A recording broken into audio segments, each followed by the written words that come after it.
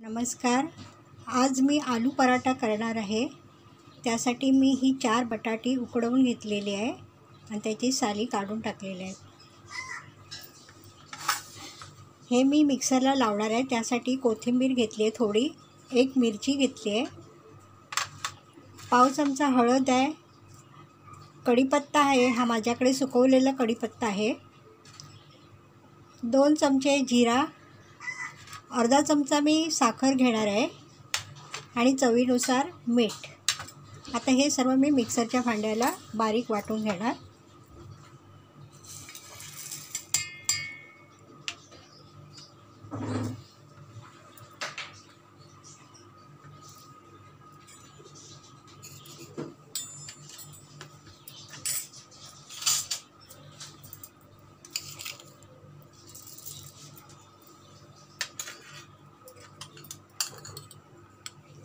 चवीनुसार मीठ.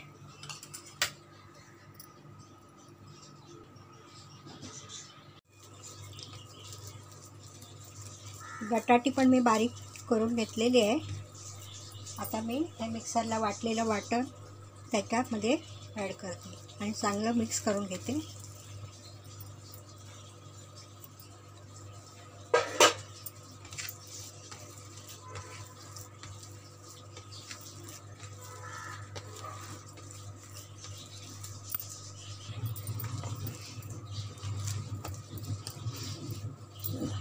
आता हे छान मिक्स झालेलं आहे. मी आता पराठे करायला घेते. थोडंसं तेल घेते.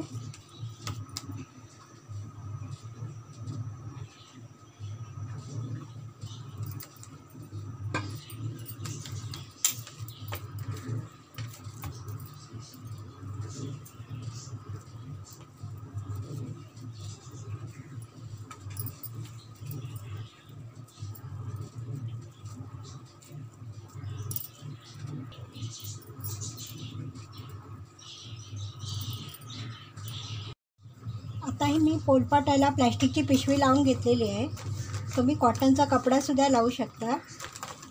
का तर त्याला चिकटू नये पोलपाटायला चिकटू नये म्हणून मी प्लॅस्टिकची पिशवी घातलेली आहे. आता ह्या एवढा पिठाचा गोळा घेतला आहे मी.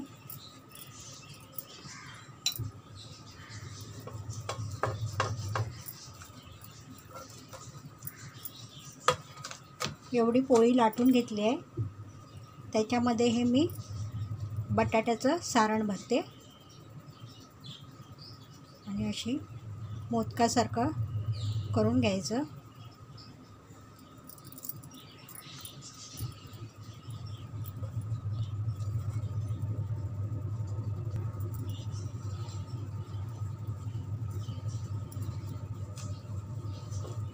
अलगद लाटून घ्यायचे. आधी कडी कडेसून लाटून घ्यायचे.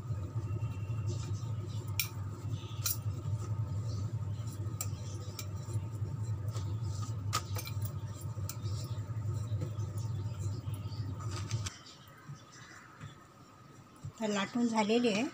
इथे तवा पण तापलेला आहे माझा.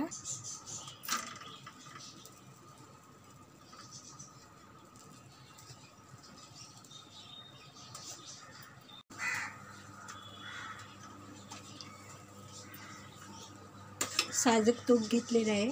ते लावून घेते.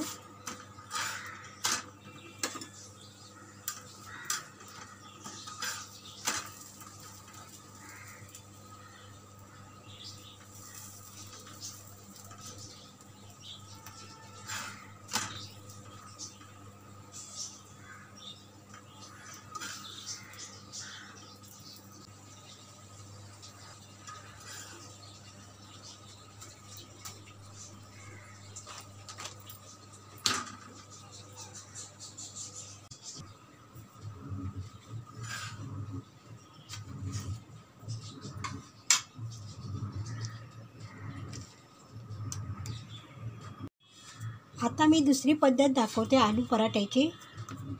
हे बटाट्याचं सारण. त्याच्यामध्ये मी डायरेक्ट गव्हाचं पीठ मावेल इतकंच घेणार आहे.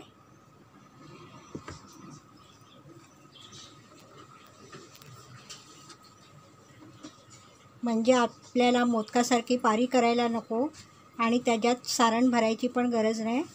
डायरेक्ट आपण आता हे पीठ मळून घ्यायचं आणि लाटून भाजून घ्यायचे.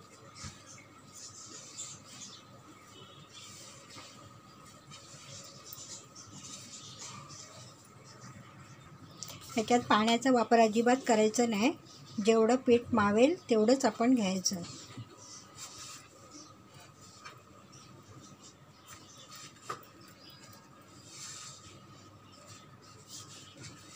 ही एकदम सोपी पद्धत आहे. झटपट होईल.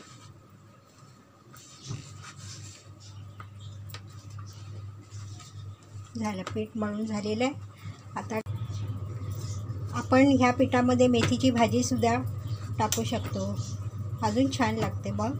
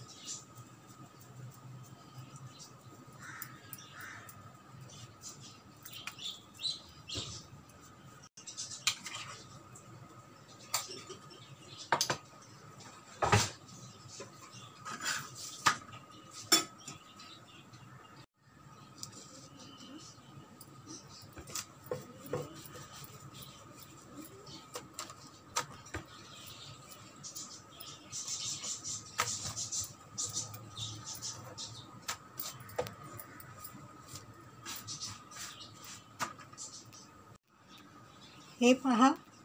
माझे तयार आहे आलू पराठा. हे मी सारण भरून केलेले आहेत इकडचे आणि ह्यामध्ये मी सारणामध्ये डायरेक्ट पीठ घातलेलं आहे आणि ते त्याने पोळ्या केलेल्या आहेत ह्या. एकूण माझ्या चार बटाटे घेतले होते मी. नऊ नऊ पोळ्या झालेल्या आहेत. हे- हे पण कसे छान नरम झालेले आणि पटकन झालेले आहेत.